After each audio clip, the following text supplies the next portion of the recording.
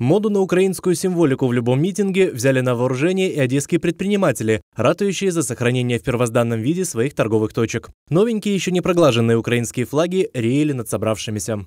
Мы работаем с 2004 года.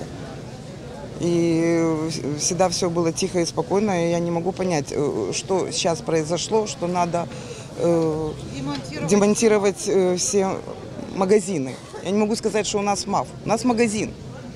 Люди возмущены тем, что под эпопею сноса мафов попали и их объекты. Продавцы недоумевают, зачем нужно сносить все, как, например, на привокзальной площади или в Старосенном сквере, когда многие ларьки еще, как говорится, ого-го. Наши будки очень хорошие, люди привыкли к нам, люди идут к нам. Вот. И они, все будки наши нового образца. И стандартным они все подходят, абсолютно. Вот. И они очень удобные, очень хорошие, тем более хозяева очень хорошие, они заботятся о нас.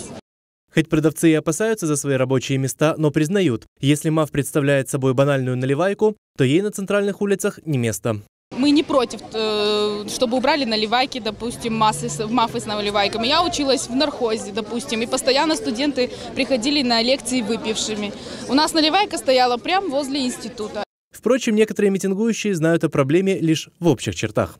Я ничего не скажу, я э, ну, как в аренде. Понимаете, я вот хозяину плачу аренду, а хозяин уже имеет дело с, с, с Бажановым. То есть я в курсе вот этих ну, мелочей вот эти. Вскоре к протестующим вышли представители горсовета и провели представителей акции на совещание рабочей группы. А затем к людям вышел и городской голова. Он успокоил собравшихся.